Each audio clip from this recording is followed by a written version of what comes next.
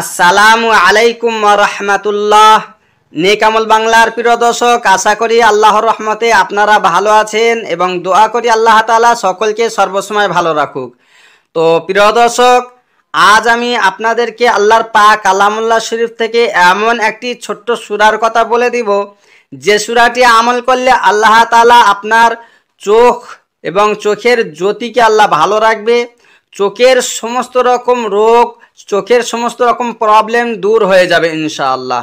এবং যে সমস্ত ব্যক্তি বা বাচ্চার মুখের জবানের কথা স্পষ্ট হয় না কিংবা কথা বলতে পারে না, আল্লাহর এই পাক কালামের রসিলায় তার জবান খুলে যাবে ইনশাআল্লাহ এবং সে স্পষ্ট কথা বলতে পারবে।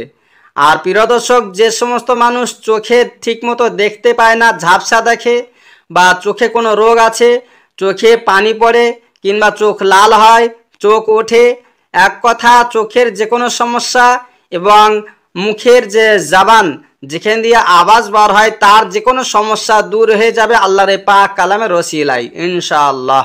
আর যে সমস্ত ব্যক্তি বা বাচ্চারা খারাপ সঙ্গদোষে পড়ে যায় কিংবা খারাপ লোকের পাল্লায় পড়ে যায়, তাহলে সেই সমস্ত খারাপ সঙ্গদোষ কিংবা খারাপ লোকের কবল থেকে মুক্তি পাবে, ইনশাআল্লাহ। তো প্রিয় দর্শক, এখন আমি আপনাদেরকে আল্লাহর পা কালামুল্লাহ শরীফ থেকে ওই ছোট্ট সুরাটি পাঠ করব, তেলাওয়াত করব এবং তার অর্থটা বলে দেব। তার আগে আমি তার কিছু সানে নজুল বা ফজিলাতগুলো আমি জানিয়ে দেই, আপনারা শুনুন।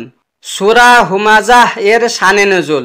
হজরত আবদুল্লাহ ইবনে ওমর রদিয়াল্লাহু তালা আনহু হতে বর্ণিত আছে যে আলোচ্য সুরাটি মক্কার কাফির উবাই ইবনে খালফ সম্পর্কে অবতীর্ণ হয়েছে। মোহাম্মদ ইবনে ইসাহাক রহমাতুল্লাহ আলাহে বর্ণনা করেন যে, উমাইয়া ইবনে খালফ যখন নবী করিম সাল্লাহ আলাইহি সাহাবিতের নামে দুর্নাম ও নিন্দাবাদ করতে শুরু করে, শুধু তাই নয়, বরং স্বয়ং রসল্লাহ সাল্লাহু আলাইহি আসাল্লাম সম্পর্কেও নানা ধরনের মিথ্যা অপবাদ রচনা করতে থাকে। তখন তাকে উপলক্ষ করে আল্লাহ তালা আলোচ্য সুরাটি অবতীর্ণ করেন। এ সুরা পাঠ করে দম করলে বদনজরের ক্রিয়া দূরীভূতি হয়ে যাবে। আর একুশ বার পাঠ করলে খারাপ লোকদের কবল থেকে মুক্তি লাভ করবে। প্রত্যহ নয়বার করে পাঠ করলে লুপ্ত বাকশক্তি ফিরে পাবে, ইনশাআল্লাহ। যারা মানুষের পিছনে নিন্দা করে ও সামনে বসেও মন্দ বলতে কোনো প্রকার দ্বিধাবোধ করে না ও টাকা পয়সা জমা করে এবং কমে যাওয়ার ভয়ে তা পুন পুন গণনা করতে থাকে। তাদের জন্য ওয়েল দোজক। সেভাবে তার ধন সর্বদা স্থায়ী থাকবে, কখনো হেসরে পাবে না, তা কখনো নয়। তাকে হোতামা জাহান নামে নিক্ষেপ করা হবে। নবী করিম সাল্লাহ আল্লাহ সাল্লামকে সম্বোধন করে বলা হয়েছে যে, আপনি কি জানেন হোতামা কি? তা হলো আল্লাহর প্রজ্বালিত আগুন, যা দোজকবাসীদের অন্তরকে জ্বালিয়ে ফেলবে। তার ভিতরে তাদেরকে আবদ্ধ করে রাখা হবে। তারা সেখান থেকে কোথাও বেরিয়ে যেতে পারবে না। তাদেরকে লম্বা খামের সাথে বেঁধে রাখা হবে। সানে নজরুলটা দেখুন। কয়েকজন কাফের নবী করিম সাল্লাহ আলাহি আসাল্লামের পিছনে নিন্দা করছিল এবং তারা টাকা পয়সা জমা করে করে তা বারবার গুনে গুনে দেখত, সে ঠিক আছে না কমে গেছে। এ সকল লোকদের পরকালে খুব শাস্তির ভয় দেখিয়ে এ সুরা অবতীর্ণ হয়। এর ফজিলাটা চক্ষু এক পরম রত্ন বিশেষ। তা জ্যোতিশূন্য হয়ে পড়লে দেহের অন্য সবগুলো ইন্দ্রিয় প্রায় অকেজ হয়ে যায়।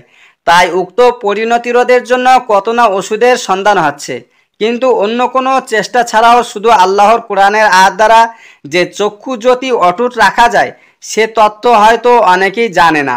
এ হুমাজাহ সুরা প্রত্যেক রাতে পাঠ করে চোখে ফুক দিলে ইনশাআল্লাহ চোখের জ্যোতি চিরদিন অমলিন থাকবে। অর্থাৎ ভালো থাকবে। তো প্রিয় দর্শক, এখন আমি আল্লাহর পাক কালাম থেকে ওই ছোট্ট সুরাটি তেলাওয়াত করব এবং তার অর্থটা বলে দেব। আপনারা শুনুন। বিসমিল্লাহির রহমানির রহিম।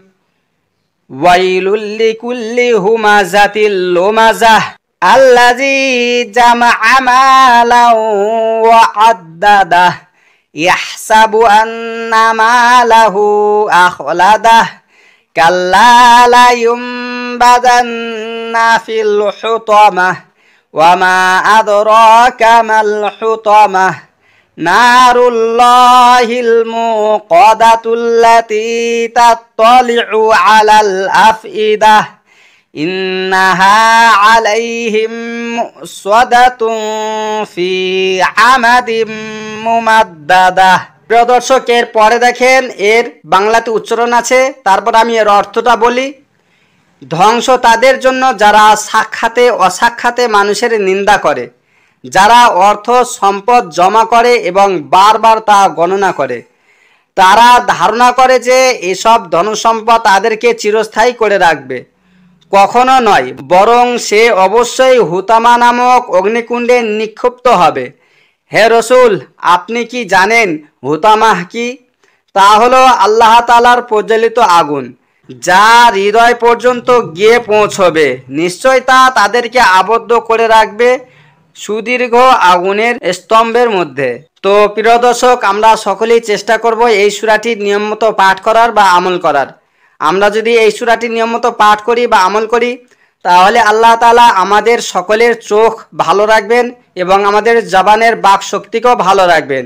এর সাথে সাথে যে সমস্ত বাচ্চার শরীরে বদনজরের আসর বা ক্রিয়া লেগে যায় তার শরীরের সমস্ত বদনজর বা নজর দোষের আসর ক্রিয়া নষ্ট হয়ে যাবে ইনশাল্লাহ আর যে সমস্ত ব্যক্তি বা বাচ্চারা খারাপ সঙ্গদোষে পড়ে যায় কিংবা খারাপ লোকের পাল্লায় পড়ে যায়, তাহলে সেই সমস্ত খারাপ সঙ্গদোষ কিংবা খারাপ লোকের কবল থেকে মুক্তি পাবে, ইনশাআল্লাহ। তো প্রিয় দর্শক, আমরা সকলেই এই সুরাটি নিয়মিত আমল করব বা পাঠ করব। আর এই ভিডিওটি বেশি বেশি করে লাইক করুন যাতে সমস্ত মানুষের কাছে পৌঁছয়।